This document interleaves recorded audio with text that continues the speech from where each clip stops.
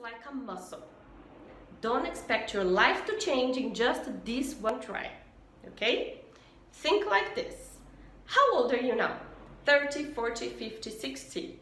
This is how long you took on your life's journey to find out and understand that is another way.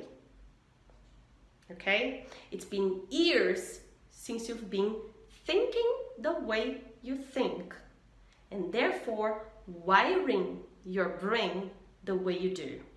It's not magic to reverse it. Are you with me? It's practice. You can do it. Let's go.